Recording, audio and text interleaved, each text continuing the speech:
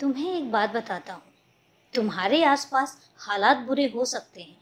हो सकता है कि लोगों की बातें तुम्हें परेशान करें। लोग हो सकता है तुम्हारे पीछे कई तरह की बातें करें, क्योंकि कई बार लोगों को समझ नहीं आता है कि किसी का दिल नहीं दुखाना चाहिए। पर तुम शांत रहो। लोगों की नासमझी का तुम अपने ऊपर क्यों असर होने दोगे? तुम्हें किसी से कुछ भी कहने की ज़रूरत नहीं है। शांत रहो, क्योंकि मैं आ गया हूँ। और तुम्हारे हर सवाल का जवाब मैं दूँगा। जहाँ पर मैं होता हूँ, वहाँ पर जवाब भी होते हैं, और जवाब लाजवाब होते हैं। और जिस जिसने तुम पर उंगली उठाई है, मैं उन सबको जवाब दूँगा, उन सबको बताऊँगा कि तुम कितने प्यारे बच्चे हो, और तुम कितने प्यारे इंसान हो, और वो जवाब सबसे बेहतर होगा। लोग तुम्हारी तारीफ़ करने से नहीं थकेंगे।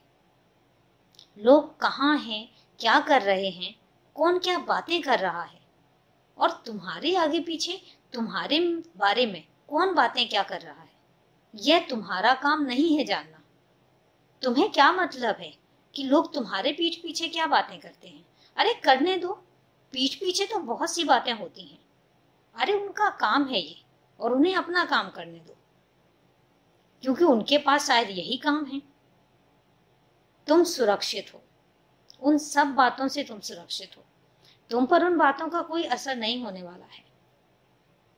लोगों का जो काम है, वो कर रहे हैं। लेकिन तुम जो काम कर रहे हो, वो तुम करते चले जाओ।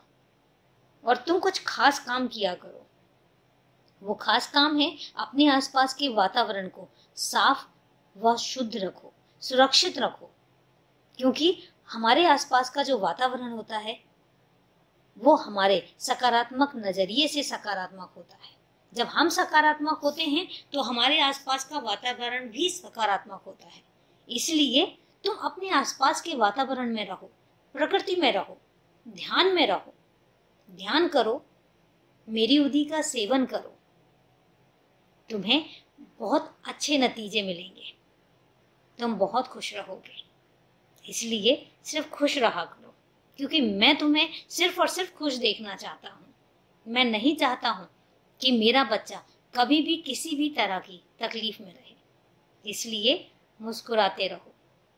तुम्हारी मुस्कुराहट मुझे बहुत पसंद है।